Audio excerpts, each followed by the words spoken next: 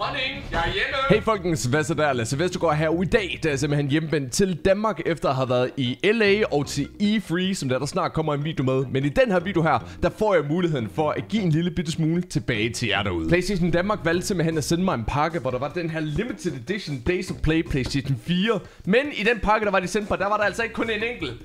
Der var to. Så da de spurgte, om jeg har lyst til at give en af dem her væk til jer derude, der valgte jeg selvfølgelig at sige ja tak. Fordi jeg har jo ikke selv nok PlayStation 4 liggende herhjemme.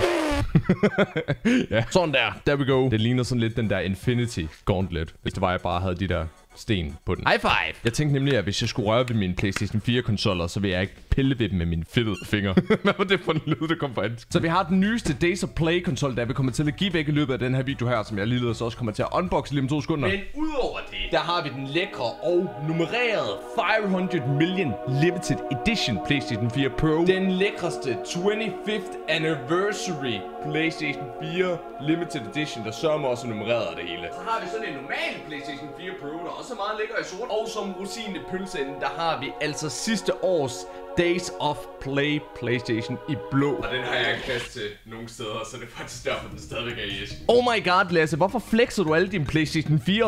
Prøv lige at høre her. Alle de andre YouTubere, de flexer jo, du ved, alle deres dyre biler, altså sådan den stil. Jeg har ikke nogen bil at flex med. Ved du hvad, som den nørd jeg er, så, så, så er jeg bare nødsaget til at flex den her kollektion, jeg har. Men helt seriøst, hvis det er, vi lige skal droppe alle de der jokes, og ikke mindst hele den der flex-kultur der, der foregår inde på YouTube. Først og fremmest, da PlayStation Danmark spurgte mig, om jeg havde lyst til at give den her konsol væk, der tænkte jeg bare, at det var en fed mulighed at kunne give lidt tilbage til det community, som I har været med til at skabe. Og også lige så meget, fordi kanalen snart rammer 170.000 subscribers, som stadigvæk er fuldkommen tosset. Og sidste gang, at jeg gav noget væk på YouTube, der blev I latterligt glade for det, så jeg håber selvfølgelig, at det igen er tilfældet. Nu har vi vores flotte kniv, vi åbner lige pakken, og så kan vi tage et lille kig på den. Og hvis der er nogen af jer, der gerne vil have sådan en lille live-update, eller hvad det er, der går og tumler med her lige nu, der ligesom var jeg sagde i starten af videoen, der har jeg lige været i Los Angeles, sammen med Ubisoft, var der sendt mig afsted, fordi at jeg skulle med til E3. Og det har været nogle super fede dage, som jeg også kommer til at vise frem her på YouTube-kanalen. Jeg tror allerede, den første video omkring det kommer her i den her weekend. Okay, det her det havde jeg faktisk ikke bemærket, men du får også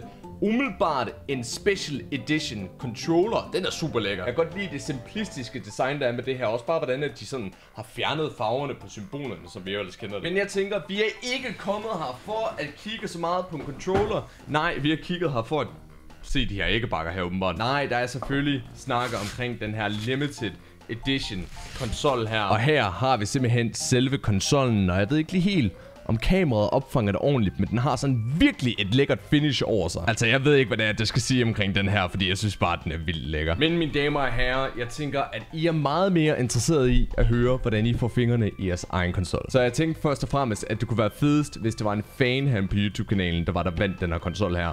Så I må rigtig gerne huske at klikke abonnere, hvis I ikke allerede har gjort det. Udover det, der sætter jeg kæmpe stor pris på al den støtte, der jeg får på de her giveaways her. Så hvis I har lyst til at like, så må I også rigtig gerne gøre det. Med andre ord, det er ikke påkrævet, men jeg vil sætte kæmpe stor pris på det. Så det allervigtigste, det er, at du hopper ned i kommentarfeltet, og så skriver du den bedste grund til, hvorfor at det er, du skal vinde den her limited edition Days of Play PlayStation. Er det måske fordi, at der, du mangler en Playstation? Er det fordi, der er en bestemt spil, som der du gerne vil spille? I så fald, så prøv at komme med et eksempel på det.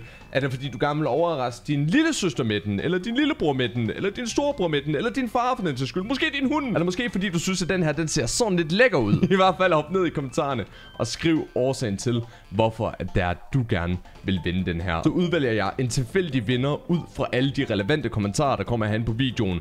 Og lad os sige, at det gør jeg her om to uger, så det bliver altså den her dato her, og det foregår således, at det er, at jeg giver et svar til den kommentar, der altså har vundet. Så husk at holde øje med jeres YouTube-indbakke, hvis det er, jeg har givet dig et reply. Og så plejer jeg at skrive i kommentaren, at vedkommende skal svare mig inden for et bestemt stykke tid, ellers så finder jeg altså en ny vinder, fordi altså, den her konsol her, det skal have et nyt hjem, uanset hvad. Så bare lige for at gennemgå reglerne igen, det ville være virkelig lækkert, hvis der I husker at like den her video her, hvis der I klikker abonner her på YouTube-kanalen, fordi selvfølgelig vil jeg foretrække, at det var en fan han, der var der vandt. Men det eneste obligatoriske er altså, at der I skriver en kommentar, hvor der I fortæller, hvorfor at I gerne vil vinde den her limited edition Days of Play PlayStation konsol. Og så vil jeg udvælge en tilfældig vinder her om to ugers tid, som er den her dato endnu en gang. Og udover det, det vil jeg bare gerne sige tusind tak til PlayStation Danmark for at give mig den her mulighed her, fordi altså, jeg tænker bare, det er mega lækkert, at jeg kan give en lille bitte smule tilbage til jer derude. Og noget andet, jeg fuldkommen har glemt, som Playstation også har sendt mig. De har nemlig sendt mig den her mega fede værktøjskasse her, der ligner noget taget direkte ud af Days Gone.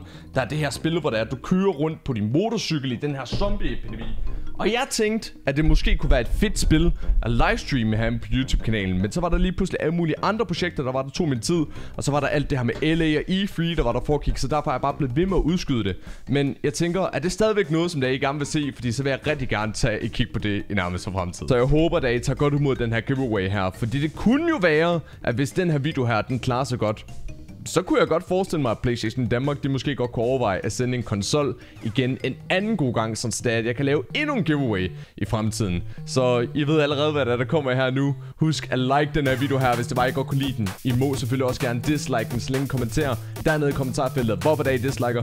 Husk at skrive en god grund til, hvorfor du gerne vil vinde din helt egen limited edition PlayStation og sidst men ikke mindst Husk at klikke abonner her på YouTube-kanalen, hvis du gerne vil notifikation næste gang, at jeg lægger en video ud. Men med det sagt, så er ikke så meget andet at sige, så pøj pøj folkens krav.